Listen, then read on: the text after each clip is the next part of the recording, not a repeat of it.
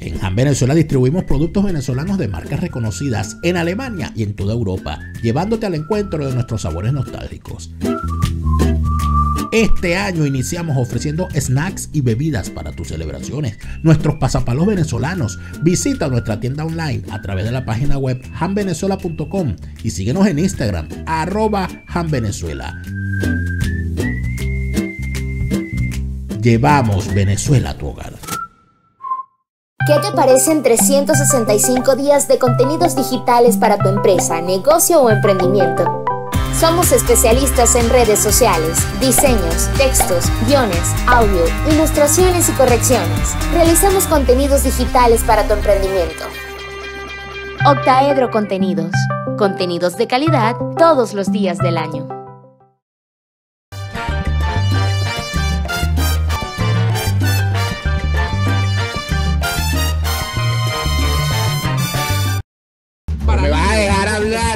Bien nervioso.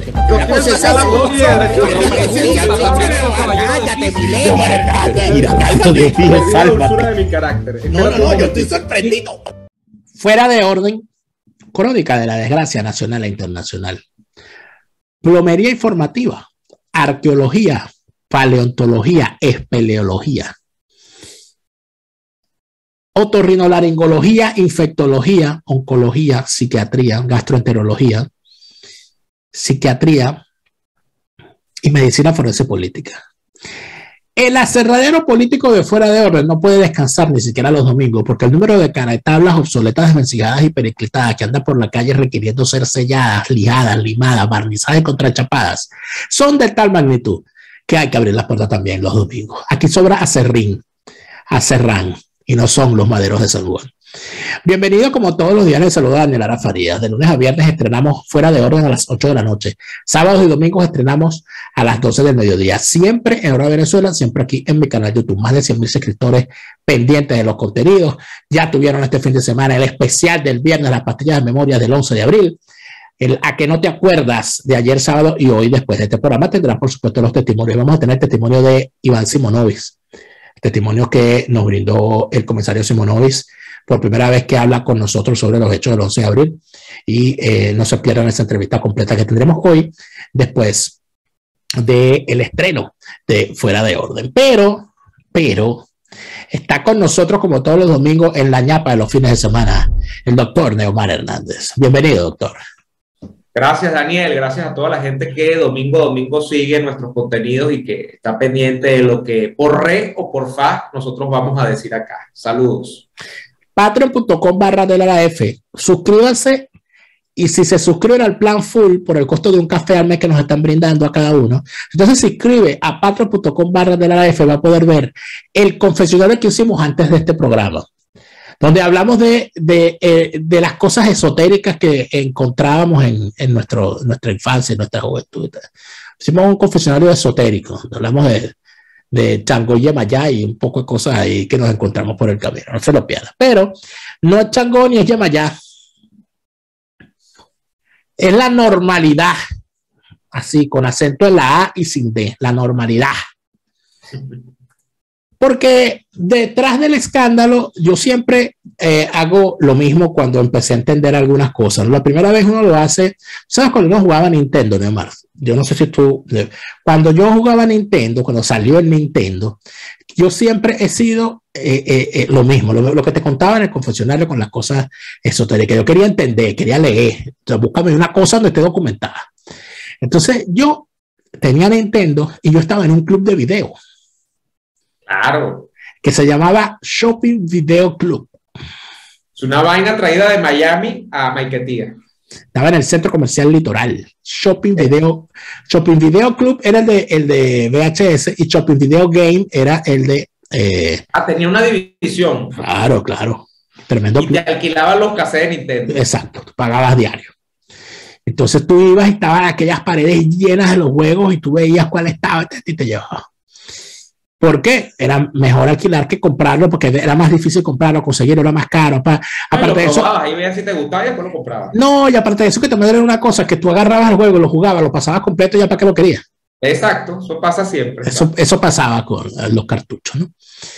Entonces, eh, yo recuerdo, y, no me acuerdo porque estaba hablando de los juegos. Ah, porque yo iba y veía que vendían, en, no allí, sino en, unos kioscos que quedaban allí en ese centro, en el centro comercial litoral. Imagínate. A ver si es lo que me estoy imaginando. Las revistas de Nintendo. Ah, yo pensé que era otra cosa. Oye, de verdad, de verdad. de verdad contigo no, se puede este hablar. este es un programa todo público. Este es un programa contigo no se puede hablar. Contigo no se puede hablar. Contigo no se puede hablar. Conversación en tiempo de bolero. de Vicentico Valdés. Exacto. No, no. No, ya, ya, ya, por favor, ya.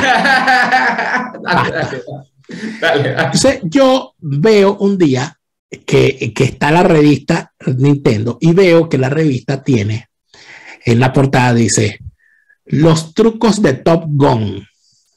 Oh, que ese juego era dificilísimo. Yo, yo tenía Top Gun y oye, me la pasaba amargado. Es un juego en primera persona que tú manejas el avión. El avión. Sí, y yo, Dios mío, y entonces me compro la revista y eh, consigo los trucos. Y entonces yo empecé a comprar las revistas para pasar los juegos. Entonces, uno, ¿qué pasa? Entonces tú te, la cosa decía, para pasar aquí, párate aquí y dale dos veces a select y simultáneamente flecha, flecha, flecha abajo, flecha arriba, y brinca, ¡ra! Y se abrió un portal, ¡ra! Y pasa a llegar al último mundo. Nah. O sea, ese tipo, ¿no? Era, era lo que había. El chavismo es así. Claro, tú, primero, a veces, no tenías la revista, sino que pasaba siempre que llegaba un primito o un amiguito tuyo. Yo con Top Gun me pasó, uno de mis primos, este, que dijo, no, eso no se pasa, eso, mira, tienes que ver. Entonces yo no me había dado cuenta que, porque estaba en inglés, yo no lo veía, y si lo veía no lo entendía, que te daba, o sea, la pantalla te decía, te dirigía hacia dónde tenías que darle para poder aterrizar. Yo podía, yo mataba a todo el mundo, pero no podía aterrizar.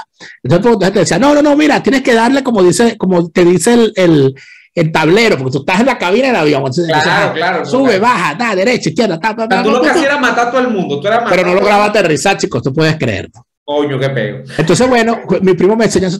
Entonces, ¿qué pasa? Que el chavismo, como sistema criminal, hace que tú en determinado momento te conviertas en, en, en, más intuitivo. Porque si tú lograste pasar, ¿verdad?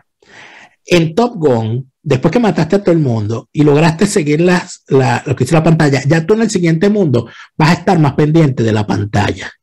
A ver qué te dice en la pantalla.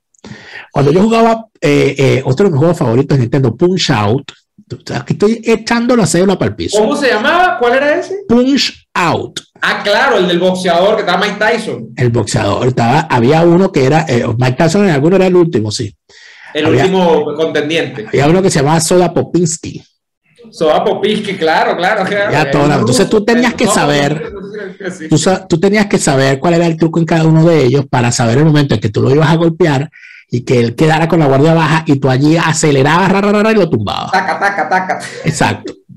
Entonces tú en cada uno estabas viendo cuál era el momento, cuál era el sonido, qué era lo que hacía. Con el chavismo, de alguna manera uno puede hacer lo mismo. El chavismo tiene una forma particular de actuar, que es la técnica de la bomba lacrimógena. El chavismo te tira una bomba lacrimógena o explota un traqui traqui allá en la esquina para que tú te vayas para allá y veas para allá. Y aquí está matando un tipo. Cuando lo importante está ocurriendo aquí. Exacto. Te está cayendo apuñalada. Es correcto. Entonces yo cuando veo una cosa escándalo y siento, ah, espérate, ¿tiene sentido? No. ¿Para dónde lo están orientando? No. ¿Quiénes lo están diciendo? Fulano y fulano. Ajá, ve para, ¿dónde está? Allá, ve para allá. Y estoy cayendo para allá. Tal cual, Daniel, tú fíjate. Y de repente ves, y de repente ves cuando sale, como decía el chiste del borracho, el chiste del borracho que iba de bar en bar en la madrugada y oye, se hacen, y ya lo están sacando de todos los bares, porque ya son las 5 de la ah. mañana. Entonces el bicho, oye, ahí hay un bar abierto y se va, eran las 6 de la mañana ya. Y, y resulta que no era un bar, el tipo estaba tan rascado que no se había dado cuenta que era una funeraria. Entonces viene el de la funeraria y están sacando la una. El tipo dice: No, no, no, coño, lo cerraron también, ya están sacando la miniteca.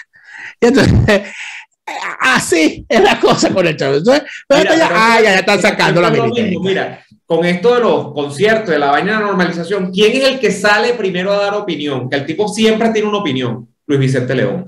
Luis Vicente León sacó, yo Luis acabo de una frase. Luis Temiente León. dice el 13%, porque el carajo ya hizo una encuesta, ya midió. La hace telepáticamente. El carajo se para y tiene un metro. Para, las, encuestas telepáticas. Entonces, el carajo dice, el 13% por lo menos de la sociedad venezolana puede pagar un concierto de, o sea, ya él dijo, el 13%. Claro, porque son las encuestas telepáticas de Luis Temiente León, garganta de flauta. Una cosa impresionante. El tipo no, no, no, es el flautista de Jamelín, es el flautista de Gatanalicín. Entonces, en, en, medio de eso, tú tienes entonces a los tipos. ¿Qué hicieron? Te están obligando a ver la normalización de los con los conciertos. Está, ajá, estás viendo para allá, y estás viendo para allá el tema de los conciertos. Cuando estás viendo para allá, lánzalo una bomba lacrimógena para que la gente, ajá, para que no puedas ver bien y después te pongas a llorar y salgas ahí todo un nubilado Ya cuando tú te recuperas, ya lo que no querían que tuvieras está ocurriendo. La coñaza que hay en el TSJ, por ejemplo. Esa es una. Hay varias. Esa es una. Pero hay otra que forma parte de lo mismo. Vamos enrumbados hacia un escenario electoral donde va a participar inclusive los sectores más radicales de la oposición.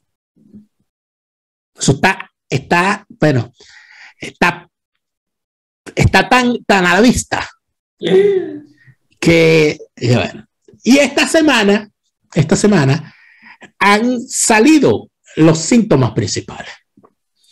El primer síntoma, o uno de los varios síntomas, que decir, uno de los síntomas es que el señor, eh, el capitoste de turno de una parte de los restos mortales de Acción Democrática, que es Bernabé Gutiérrez, ha convocado un comité directivo nacional de su sector del partido que a su vez convocó unas elecciones internas. Y a la vez ha de una vez lanzado su candidatura presidencial. Él ha lanzado su candidatura presidencial y ha dicho que él está dispuesto a contarse con quien sea en unas primarias de la oposición. Buenísimo. Ese es Bernabé Gutiérrez, que además es un hombre que tiene, de verdad, yo lo felicito por su, por su fe. Porque eso no es una candidatura, eso es un acto de fe. Pero el sector del otro, del, otro resto mortuorio de lo que fue una vez Acción Democrática, dirigido por Mamá Plancha Ramos Alú.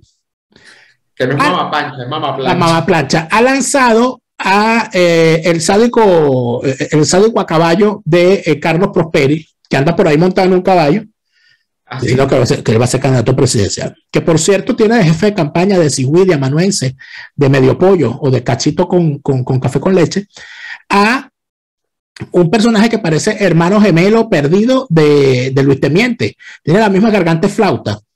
Este, este tipo se llama Piero Marún, Piero Marún. Ah, ese mismo es. Ahora, Daniel, yo no sé todavía, o sea, lo que son las, las, las, cosas, esto donde cuando hay plata, cuando hay cosas que uno no entiende. Yo no sé quién le dijo a Carlos Prosperi que él puede ser candidato presidencial. O sea, ¿de, de qué es él? ¿Qué, ¿Quién es Carlos Prosperi? ¿De dónde salió? No sé, se lo debe haber. Más allá de diputado. No, se lo debe ¿Qué cargo directivo importante ha tenido él en Acción Democrática? Bueno, para haber llegado incluso así a secretario de, organización, ¿no? Que es como el segundo. Acción eso se, debe, debe habérselo dicho. Ahí hay, ahí hay, mira, ahí hay ñere ñere. eso, no, eso, más, eso se lo dijo a alguno de los delincuentes de su familia, que está, son una familia que son, él es Próspero y Manuel, no se sabe dónde hay más delincuentes, entre los Prósperos y los Manuel. O sea, pero luego está un sector que ha lanzado una candidatura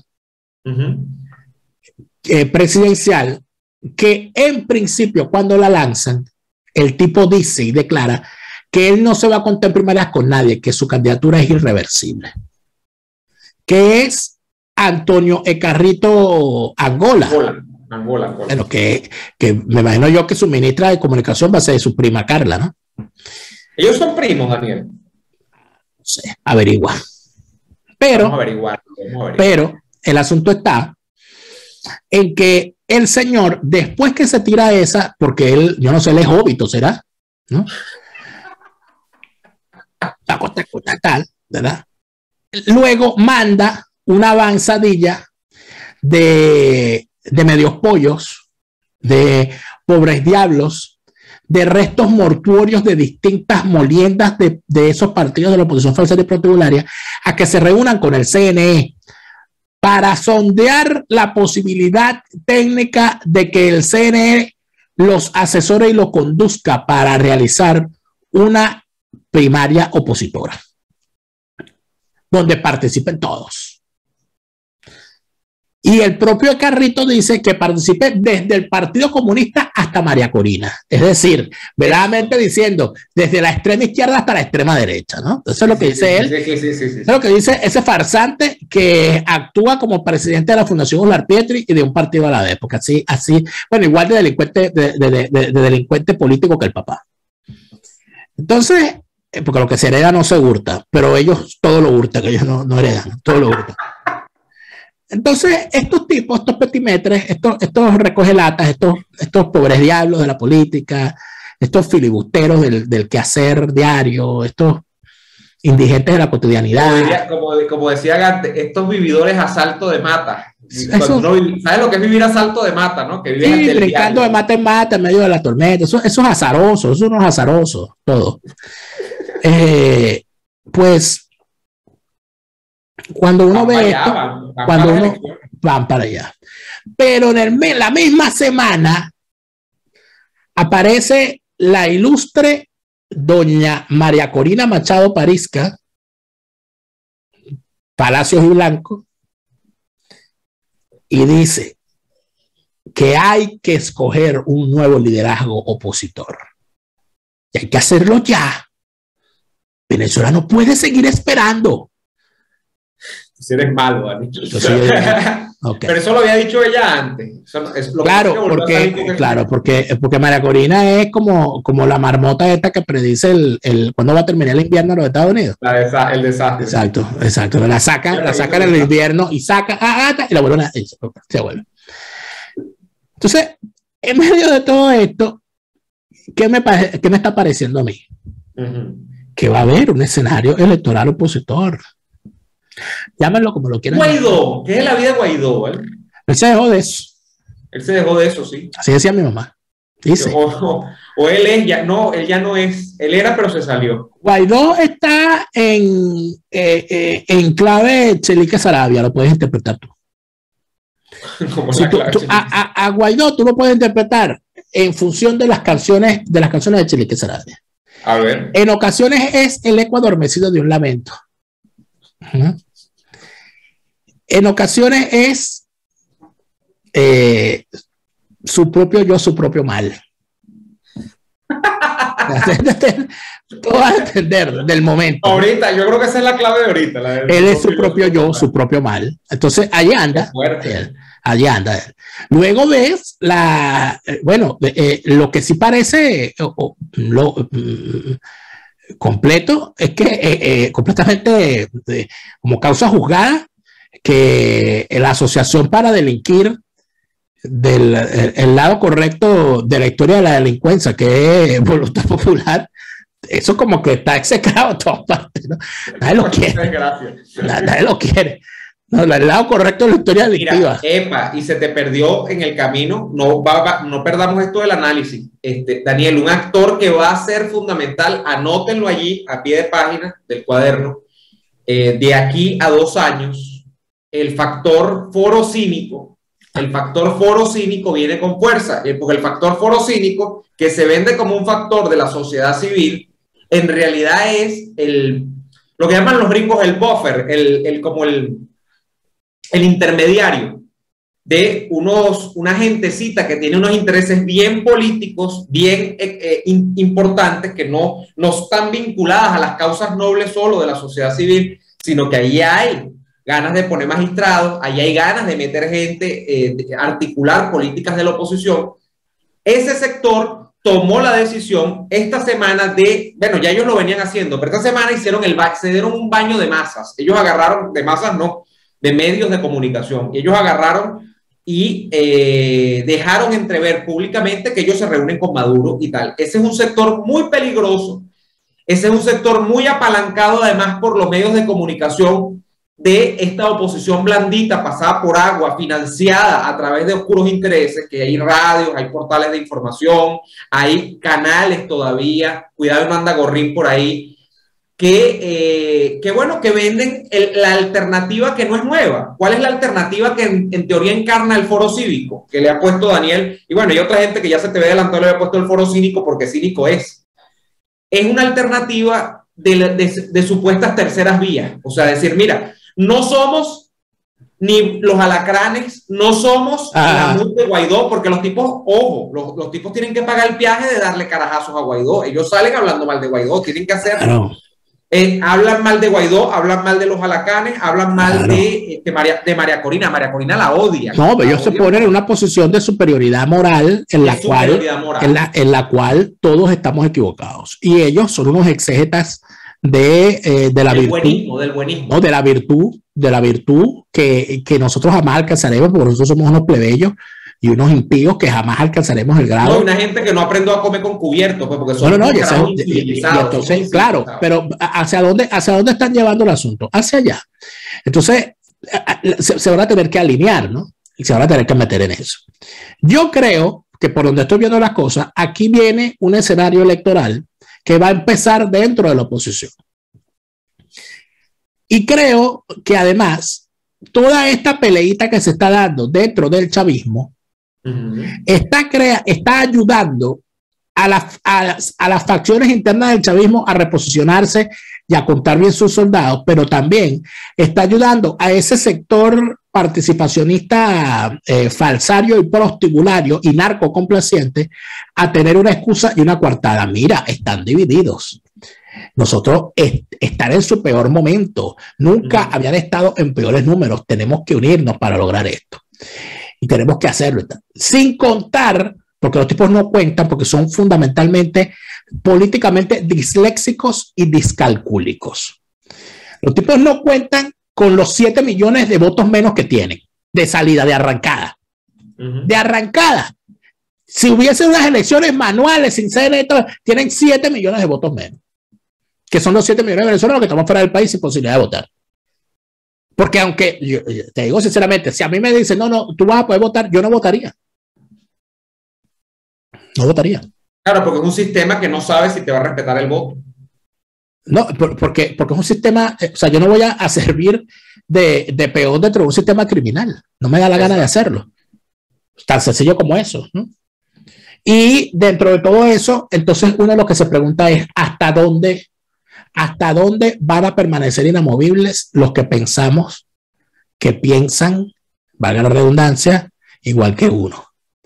Hasta dónde se van a comportar a la altura, rechazando cualquier tipo de participación dentro de un sistema electoral criminal, los que dicen ser firmes, ¿hasta dónde van a aguantar? la tentación es muy grande, las presiones son muy grandes. ¿Hasta dónde aguantan? ¿Se van a quedar allí? ¿O se van a atrever a lanzarse a la piscina, a la piscina de estiércol, de la cual es imposible que salgan limpios? ¿Cómo lo ves tú? Eh, por ejemplo, te voy a tocar el caso de, que es el caso quizá que más me interesa, el de María Corina. Yo se lo he dicho incluso a María Corina. Yo, eh, yo entiendo que no sé cuál va a ser la posición, al, bueno, faltan dos años para eso de las elecciones supuestamente presidenciales. Pero recuerda algo, María Corina, María Corina tiene como 10 años que no participa en una elección. Eh, creo que la última fue, bueno, no, desde el 2005, que fue donde llevó candidatos a la, a la Asamblea Nacional. Eh, dos, dos, diputados, una cosa así, un diputado. Pero ella personalmente, 2010 fue la última vez, ¿no? O sea, más de 10 años. Y el problema, estimado Daniel, que es el que yo le, le decía en esa oportunidad cuando conversé, recuerdo clarito sobre este tema con ella, yo le, el problema es que tener un partido político en Venezuela es tener necesariamente una red clientelar. Y en un partido político todo el mundo, basado en el principio de la red clientelar, que es donde tú estás esperando que se te dé algo a cambio a partir del tiempo que tú dedicas a estar en un partido, todo el mundo está haciendo cola. Y todo el mundo está haciendo cola para ser candidato a algo. Eso pasa en todos los partidos. Entonces, yo le decía a ella en esa oportunidad, es muy complicada la situación que tú tienes, donde hay una, una posición que yo he defendido, que es principista, que es ética, que es moral, que es además de lógica, que es que tú no participas en una elección para legitimar un sistema que no te va a reconocer un triunfo, como ya se ha demostrado que va a pasar. Pero eso es difícil hacerlo bajar a una gente que está, por ejemplo, en Falcón, pensando que él está haciendo cola para ser candidato a gobernador de Falcón. ¿Qué ocurre? Cuando los partidos o estos partidos no dan el espacio para que esta gente sea candidata, porque bueno, porque nos, en, el caso del partido María Corina, no creen que estén las condiciones dadas, no han creído durante todo tiempo que estén dadas para ser candidato, esa gente empieza a mirar para los lados y entonces en Venezuela, que no faltan partidos, van y terminan en voluntad popular, van y terminan en... Ahora hay una, hay un, fíjate, esta semana me di cuenta, hubo unos, creo que uno que era diputado, el señor Barragán de María Corina, ahora está con Delsa Solórzano. ¿Por qué? Porque Delsa Solórzano sí está en la otra acera, en la, en la acera más clara que participaría. Me imagino yo. Entonces empieza un tema que es inherente no a los partidos en Venezuela, sino a, todo el que hace carrera en un partido político, que está esperando que el partido político sea una catapulta para lanzarse algo. Y cuando ven que no va a pasar, entonces ahí se van por otro lado. ¿Y qué pasa? ¿Qué pasaría con María Corina? Se va quedando, se va quedando sin, eh, sin pues, el cuerpo de ese partido, se va quedando sin. Entonces, es una situación bien complicada, Daniel. Pero es el problema, es el problema al final del día, el dilema, porque no es un problema, un problema tú lo resuelves, un dilema no, un dilema tiene múltiples eh, dificultades para resolverse. De tratar de hacer política desde un partido o política partidista en un país en el que no hay democracia. Es lo complicado. Es complicado. Es complicado, pero lo verdaderamente complicado es tomar decisiones. Yo creo que a algunos les va a llegar el momento de tomar decisiones. Creo que les está llegando y creo que esas decisiones además no van a ser... Eh, yo creo que hay mucha gente que se va a quemar en los próximos dos años creo que eso en realidad a mí no me, no lo lamento. Yo creo que es necesario que sí, es necesario que toda una clase política estafadora, falsaria, prostibularia, narcocomplaciente, ridícula, mendaz, indigente, termine de desaparecer. Hay una gente que tiene que desaparecer. Y de cuando se, cuando se cree que solo quedan escombros, de ahí salen los liderazgos, los liderazgos genuinos. Y yo creo que nos falta mucho por ver todavía. Esperemos. Y estoy seguro que eso va a ocurrir. Pero en todo caso hay que estar pendiente porque las bombas lacrimógenas nos disparan las miradas para otro lado. Entonces, no trague humo, no llore, mire para el otro lado. Cuando le dice, mire para allá, mire para la derecha. Y haga como el gandolero, no pique torta ni jale bola. Eso es muy importante, eso es muy importante también. Gracias, Neomar, por otra. Gracias a ti, Daniel. a ustedes, amigos, gracias por habernos acompañado. Recuerden que estamos de lunes a viernes, de lunes a viernes, eh, a las 8 de la noche en un nuevo estilo de Fuera de Orden. Sábados y domingos estamos a las 12 del mediodía, siempre en la Venezuela, siempre aquí en nuestro canal. El apoyo que hemos recibido a través de la plataforma Patreon, patreon.com barra de la F. Patreon.com barra de la F. Ese apoyo es el que hemos podido lograr para seguir haciendo todos estos contenidos. Yo les agradezco muchísimo por sus suscripciones. Con el costo mensual de un café al mes que nos están brindando, con eso es suficiente para nosotros hacer acopio entre todos y seguir trabajando. Gracias a todos por habernos acompañado. Hasta mañana. Resistencia con contundencia, no más lavado de conciencias, resistencia por la libertad,